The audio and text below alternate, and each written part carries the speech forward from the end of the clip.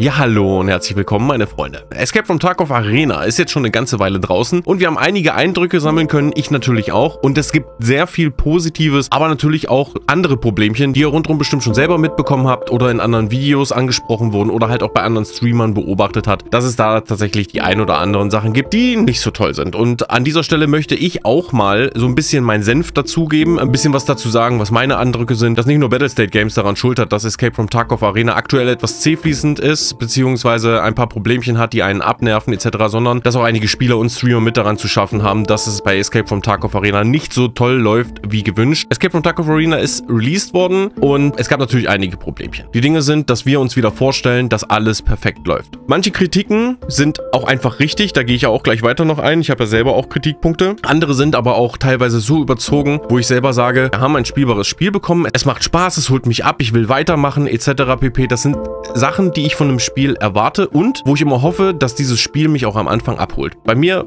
ist es passiert, wenn es bei euch vielleicht nicht so war, tut es mir sehr leid. Ihr könnt natürlich auch immer gerne in die Kommentare schreiben unten drunter, äh, was eure Beweggründe sind, wieso, weshalb ihr das gut oder schlecht findet. So kommen wir nach der Ansprache jetzt erstmal zu dem Positiven. Ich habe tatsächlich das Glück gehabt, gleich als allererstes mit dabei zu sein und durchzustarten. Und ich muss euch sagen, direkt am Release Day lief dieses Spiel butterweich. Ich hatte Q-Times, es war einfach fantastisch. Ich habe keine Ahnung, keine zwei Minuten gebraucht, in einem, in einem, um in einem Match zu landen. Die Performance war super, meine FPS waren einwandfrei. Ich habe keine Ruckler, keine Mikro Ruckler, gehabt. Ich habe einfach Spaß am Spiel gehabt, Spaß daran gehabt, mich vorzuarbeiten äh, in der Repetition oder einfach auch bei den Loadouts, um die freizuschalten, beziehungsweise diese Presets. Und es hat einfach Spaß gemacht, dieses Spiel zu genießen in den ersten Stunden. Es hat einfach Spaß gemacht. Die Atmosphäre ist immer noch die Tarkos-Atmosphäre während der Fights. Gleichzeitig sind die Maps auch echt gut. Natürlich gefällt einem die ein oder andere etwas weniger gut. Und mit den Maps und dem ganzen Aufbau finde ich das eigentlich alles eine ganz runde Sache. Und ich muss tatsächlich auch an dieser Stelle sagen, dass Tarkov Arena mich positiv überrascht hat. Ich habe tatsächlich Schlimmeres erwartet. Natürlich, man konnte schon ein bisschen was sehen und konnte sich dann vorstellen, okay, es wird nicht einfach so ein Call, Call of Duty-Klon oder beziehungsweise so eine ähnliche Art davon. Natürlich sind einige Mechaniken dabei, die wir aus diesen Competitive Games wiedererkennen, aber trotzdem verwandelt das Tarkov nochmal in seine ganz eigene Welt.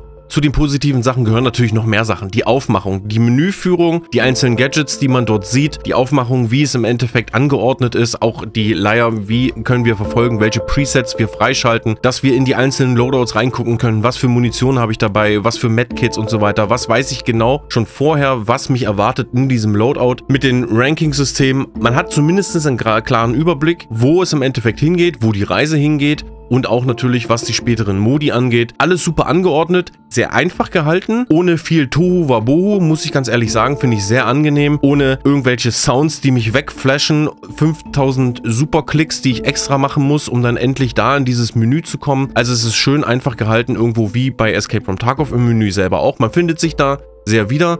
Jetzt gerade an die Escape from Tarkov Spieler, die das Spiel auch schon eine ganze Weile kennen. Ich denke, da findet sich jeder wieder und es kommt einem einfach vor, als wäre einfach nur ein kleiner Patch bei Tarkov passiert und ansonsten wüsste man sofort, wo man sich da wiederfindet. Für alle neuen Spieler ist es, denke ich mal, auch etwas erfrischend, weil es doch relativ einfach gehalten wird und man schneller dahin kommt, wo man wirklich hin will. Äh, sage jetzt mal, was die Menüführung angeht und so weiter. Es ist übersichtlich, man weiß eigentlich schnell, wo es lang geht und ich glaube, sich dort reinzufuchsen, dauert als neuer Spieler nicht so lange wie bei manch anderen Games. Dazu noch einmal positiv das Handling. Vom Charakter, von der Waffe. Natürlich sind die einzelnen Loadouts teilweise etwas schwerer spielbar, aber wir dürfen auch nicht vergessen, es geht hier alles in Hardcore-Realismus über. Das ist natürlich bei dem einen oder anderen Loadout mit einer schwereren Waffe oder einer schlecht gemoddeteren Waffe natürlich von der Ergo her schlechter ist. Ist ganz logisch. Aber ansonsten finde ich das echt gut mit dem Handling. Man findet sich dort schnell wieder und ich bin auch der Meinung, dass gerade neue Spieler, jetzt gerade aus dem Freundeskreis, muss ich ganz ehrlich sagen, habe ich kaum jemanden, der sagt, er hätte da Probleme. Natürlich ist das ein ganz anderes Handling als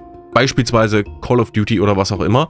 Aber Trotzdem können die Leute damit gut umgehen und das finde ich, gerade was Battlestate Games dahin abgeliefert hat, finde ich da auch schon mal super, dass gerade neue Spieler sich dahingehend auch relativ schnell zurechtfinden. Positives erwähnt man irgendwie immer viel zu wenig, aber es sind halt auch immer die Kleinigkeiten, die man großartig nicht deswegen aufzählt, aber die halt dieses Gesamtbild im Endeffekt angenehm machen und das zeigt, dass vieles an Escape from Tarkov Arena einfach positiv ist, weil es Spaß macht, weil es einen abholt. Und dass da die positiven Kleinigkeiten natürlich ein bisschen in den Hintergrund geraten, ist irgendwo schade. Ich könnte jetzt hier tatsächlich auch noch ein bisschen mehr ausholen, aber ich möchte möchte mich jetzt nicht auf die Kleinigkeiten begrenzen, sondern die wichtigsten Punkte habe ich jetzt erstmal angesprochen. Und jetzt kommen wir tatsächlich erstmal zu den Punkten, die auch mir negativ aufgestoßen sind. Und vor allen Dingen die, die auch ihr, also wir, selber verursachen und euch vielleicht mal da ein bisschen darauf sensibilisieren, dass ihr es vielleicht nicht macht oder anders tut. Und damit kommen wir auch gleich zu dem Part, der uns betrifft, also uns Spieler, also euch und auch Streamer, die auch einfach ganz normale Spieler sind, aber die uns halt betreffen und wodurch wir uns selber gegenseitig das Leben in Escape from Tarkov Arena schwer machen. Und zwar hat das bestimmt schon der ein oder andere gemerkt, dass wenn wir im Loading Screen sind und wir wollen ins Match etc. pp. und es geht zum Loaden, wir sind schon über den Loading Server hinaus und dann kommt Waiting for Players. Und dann geht's los. Leute, denen es zu lange dauert, Alt F4,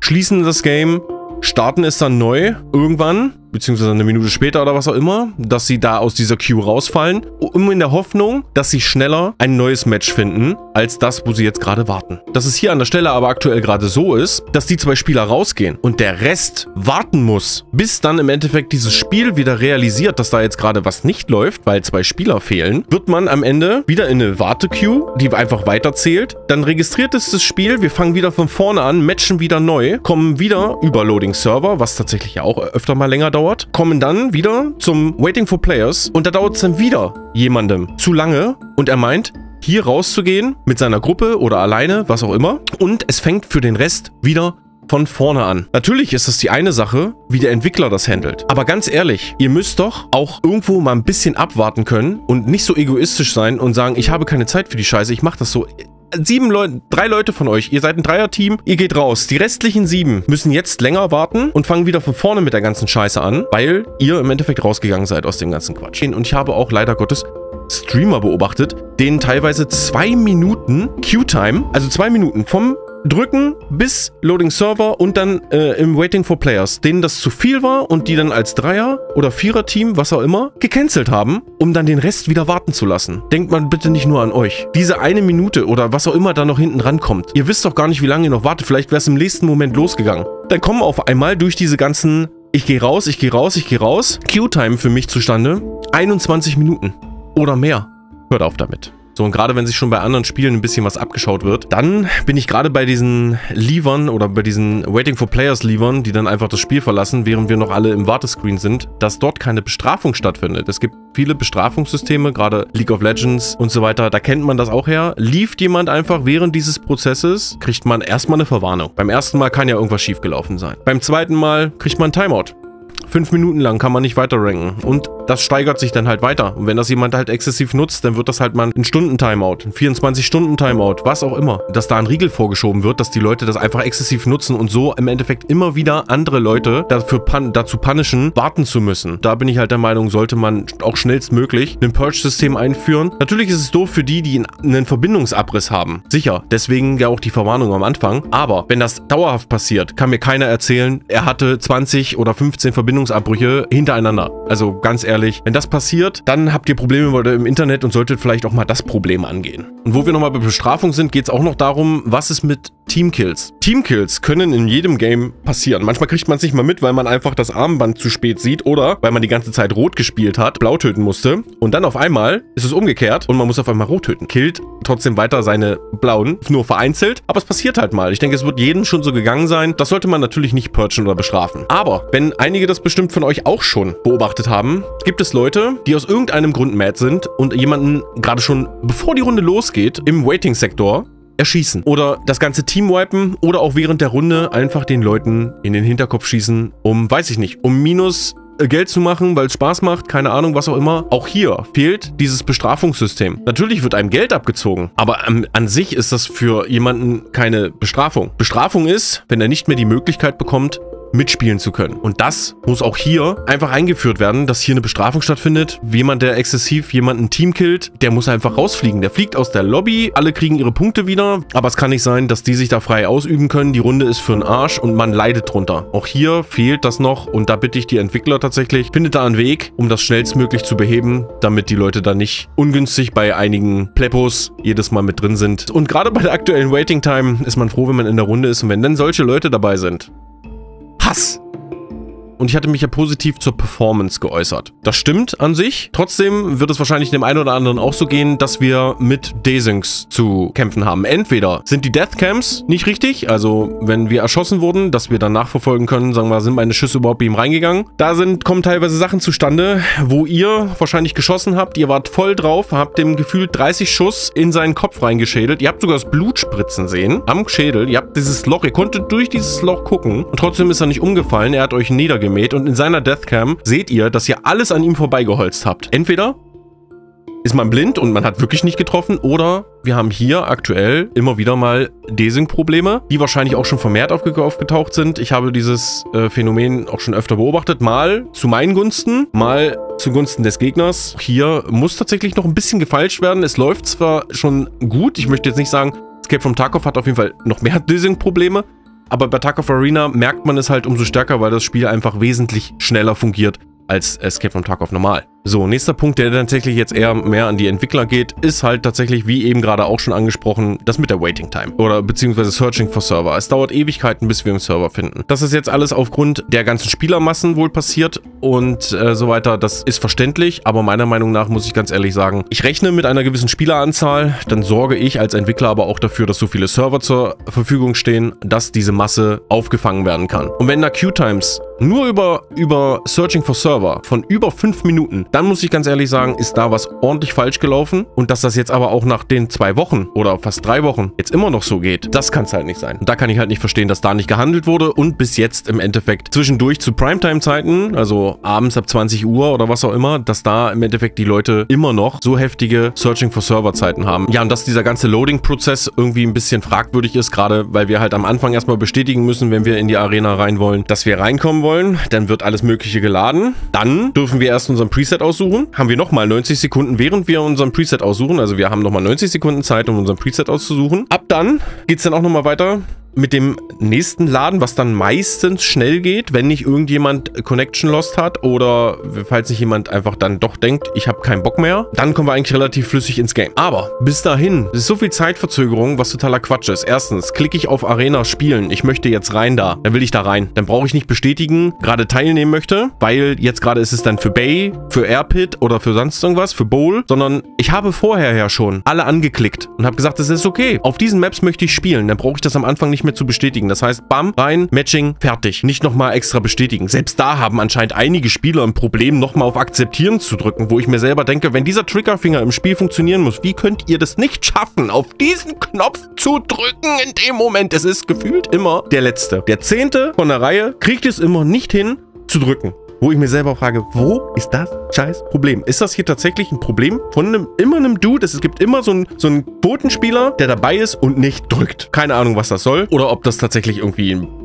ein Softwarefehler ist. Ich weiß es nicht. Auf jeden Fall ganz schlimm. Den Schritt könnte man sich sparen. Bam. Man hat Matching gedrückt, fertig, man wird gematcht, alles ist gut. Preset kann man sich auch sparen. Man kann doch im Menü schon auswählen, welchen Preset man spielen möchte. Da es eh keinen Einfluss darauf hat, wenn wir im Preset-Menü sind, ob wir noch irgendwas anderes anlegen wollen, weil wir nicht sehen, was unsere Teammitglieder anlegen, etc. pp., können wir da eh keinen Einfluss drauf nehmen. Vorher, bevor wir überhaupt ins Arena Battle Play drücken, einfach schon Preset auswählen, mit diesem Preset spielen wir und gut ist. Wir sparen uns diese sämtliche Geklicke, er kann in eins durchladen und am Ende geht die Runde einfach los. Dann kommen wir zum Ranking-System und zu dem Preset selber. Ja, dass dieses System nicht wirklich ausgereift und getestet wurde, das dürfte mittlerweile, glaube ich, jedem klar sein. Das Ranking-System eh schwer zu schaffen, äh, großartig Sprünge zu machen, um aufzusteigen, ist eh nochmal das Ding. Das heißt, die meisten werden sich so im Delta Plus oder Charlie-Bereich befinden. Jetzt mal ganz unabhängig davon, wie viel Skill jeder hat. Die Presets sind teilweise ja so stark, wenn wir jetzt wieder an das Preset was jeder jetzt gerne erwähnt gerade. Altin und Redut. So, dieses Preset ist schwer durchdingbar, gerade für Alpha-Spieler, die auch die Plus äh, gewertet sind. Starten da als neue Spieler mit ihrer vergammelten Pistole oder was auch immer, starten die rein, scheiß Muni und müssen gegen jemanden bestehen, der einen Altin und eine Redut trägt. Das funktioniert nicht. Das sollte mittlerweile auch jedem klar sein. Die Presets müssen natürlich irgendwo in Tierlevel unterteilt werden, aber es kann halt nicht sein, dass ein Tier 1er gegen einen Tier 7er spielt. Funktioniert einfach nicht. Gerade wenn wir uns im kompetitiven Rahmen bewegen, muss da einfach was anderes passieren. Und da wird sich bestimmt auch noch was ändern, aber da muss ich auch wieder ganz große Kritik sagen dazu, dass hier nicht genug Vorarbeit geleistet wurde. Oder jetzt einfach mal aus unternehmerischer Sicht. Wäre es doch wichtig, wie ist es für jemanden, der frisch einsteigt, wenn das Spiel schon eine Weile gelaufen ist. Das heißt, ich habe jetzt, sagen wir mal, jemanden, der durchschnittlich wird aktuell Tier 7er Gear gespielt. Jetzt kommt einer rein und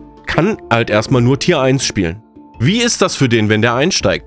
Hätten die geprüft, wie das ist, dass der am Anfang dasteht mit seiner Pistol oder mit seiner Tracer Moon und versucht, einen Typen mit Altin und Redut niederzustrecken, wäre den Entwicklern doch schon frühzeitig aufgefallen, dass da an diesem System irgendwas falsch läuft. Also an dieser Stelle muss dringend, dringend, dringend nachgearbeitet werden, ein anderes Modell rein, dass im Endeffekt die Tierstufen untereinander auf dem Rank nur gegeneinander spielen können, beziehungsweise man da Abstriche macht, okay, pass auf, Tier 5 und Tier 6 können zusammenspielen. Das dann in D Plus Rank, also dass im Endeffekt mehrere Abschnitte berücksichtigt werden beim Matching, die dann am Ende das Ganze zusammenführen. Und dann nochmal ein Kritikpunkt, der vielleicht nur von mir selbst kommt, aber was das Ranking-System angeht. Also wir haben hier die ganzen Ranks und um diese zu erreichen, müssen wir schon ordentlich ordentlich was tun. Also, wir, wenn wir gewinnen, kriegen wir welche dazu. Wenn wir verlieren, verlieren wir aber auch gleich wieder 25. Dass diese Rank-Punkte auch so hoch angesetzt sind, einerseits nachvollziehbar, andererseits kaum vorstellbar, dass jemand diese Ranks als Otto-Normalverbraucher erreichen kann, nur weil er gut spielt. Weil alleine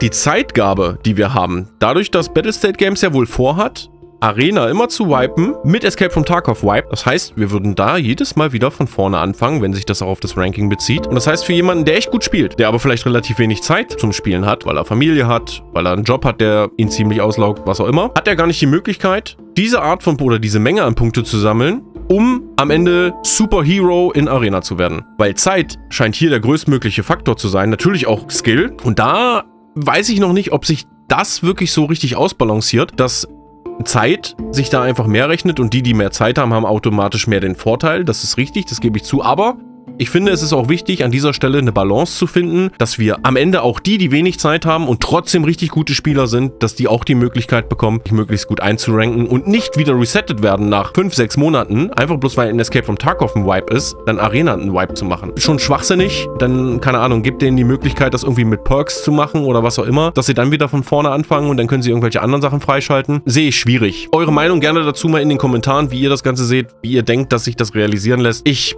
bin mir da noch nicht ganz schlüssig, was das werden soll. Zu dem Problemchen, was natürlich jetzt die einzelnen Zugänge angeht, dass der ein oder andere früher und der andere später Zugang hatte, da möchte ich gar nicht großartig weiter drauf eingehen. Ich denke, das Problem ist mittlerweile jedem bekannt, dass das äh, da ein bisschen schief gelaufen ist. Battlestate Games hat sich dort auch entschuldigt und versucht da nachzuarbeiten. Ich sage aber auch immer gerne, natürlich, man soll den Support nicht überfluten, aber wenn ihr das Gefühl habt, ich bin jetzt gerade benachteiligt worden, weil ich habe die Edge of Darkness Version bereits seit so und so vielen Jahren und ich habe EFT Arena relativ zeitig geclaimed, aber habe den Zugang noch nicht nicht. Schreibt doch mal kurz einen Support an, legt ihnen die Sachen grundsätzlich nieder und wartet ab, was sie schreiben. Es hat in der Vergangenheit, ich habe die Tipps meiner Community auch schon gegeben und es gab positive Resonanzen. Die wurden dann freigeschaltet. Fluchen und meckern ist die eine Sache, bringt euch meistens aber keinen schnelleren Zugang, als wenn ihr einfach das Gespräch sucht und dort versucht, eine Lösung zu finden. Genauso hatten wir es letztens, dass auch einer aus der Community, also ein Zuschauer, feststellen musste, dass er EFT Arena erst viel zu spät geclaimed hat und der andere bei dem Vorbestellen bei EFT Arena noch gar nicht geklickt hat. Er hat zwar die Edge of Darkness Version, aber er hat EFT Arena noch nicht geclaimed. Für jeden, der eher Edge of Darkness Version hat, ihr auf tarkov.arena.com auch euer Spiel bzw. eure Version von Arena geclaimed, dass ihr sie habt. Ihr kriegt dann meistens, wenn ihr auf eurem Profil guckt, auch wann ihr das geclaimed habt. So, nochmal zusammengefasst, Escape from Tarkov Arena ist ein Top-Spiel. Mit den kleineren Problemchen, es überzeugt aber trotzdem immer noch durch Atmosphäre, durch das geile Gameplay, was man hat, durch die ganzen ganzen Spielmechaniken, die Spaß machen, das ganze Spiel sich selbst zu verbessern, andere Presets freizuschalten und so weiter. Das macht einfach ungemein viel Spaß. Es fühlt sich ungemein gut an und man möchte auch immer weitermachen. Natürlich hat es, wie gesagt, die ein oder anderen Problemchen, die irgendwie gefühlt bei jedem Spiel am Anfang mit dabei sind. Deswegen lege ich dieses Spiel aber lange nicht an ACTA und deswegen fluche ich auch nicht des Todes rum. Größtmögliches Problem meiner Meinung nach aktuell sind einfach nur die Presets-Balancings, die passieren müssen und die Waiting Time, weil ich würde mir doch schon wünschen, nach circa zwei bis drei Minuten hätte ich gerne mein Match, damit ich dann spielen kann kann und nicht mehr Zeit im Warteraum verbringe, als dass ich spiele. Deswegen hier an dieser Stelle bin ich auf jeden Fall voll euphorisch und hoffe, dass es auf jeden Fall in der nächsten Zeit schon viel besser wird und dass wir viel Spaß in Tag of Arena haben werden. Ich bin auf jeden Fall gespannt. Ich freue mich auf jeden Fall drauf, mit euch auch ein paar Runden zu drehen und in der Arena mit euch ordentlich zu rasieren. Und natürlich bin ich gespannt, wie es jetzt weitergeht mit Tag of Arena, wann die ersten Änderungen kommen und wann wir das Spiel komplett so genießen können, ohne dass wir vielleicht sogar meckern müssen. Ja, meine Freunde, mit diesen Worten war es das von meiner Seite aber auch. Ich hoffe, ihr konntet dem ganzen Video ein bisschen was abgewinnen. Habt auf jeden Fall ein bisschen was von der Kritik mitnehmen können. Vielleicht auch ein bisschen ein paar Eindrücke von mir selbst mitnehmen können, die ihr selber noch nicht hattet. Und vor allen Dingen, wenn ihr selbst Eindrücke habt, habt ihr mir sie hoffentlich in den Kommentaren gelassen. An dieser Stelle, wie gesagt, bin ich aber auf jeden Fall erstmal raus. Ich wünsche euch jetzt viel Spaß in der Arena. Man sieht sich im Stream. Würde mich auf jeden Fall freuen. Ich bin's wie immer ganz Danke euch fürs Zuschauen und sage bis zum nächsten Mal. Ciao, ciao.